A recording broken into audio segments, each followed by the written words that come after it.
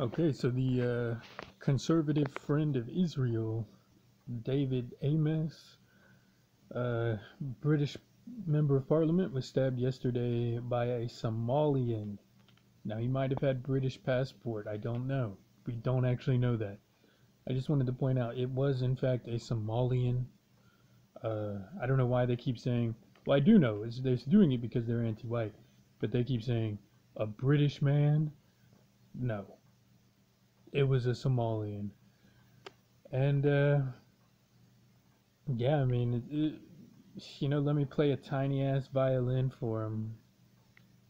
All right, that's enough. Fuck him. Who cares? Uh, hopefully it happens some more. These same politicians who uh, want closed borders for Israel, but want all the non-whites in the world to be right up the asses of their true constituents, the English people. Uh, fuck them. I hope it hurt. But uh, yeah, I just wanted to point out it was a Somalian who did it, not a quote British man. All right. Being British is a racial thing, not a fucking passport.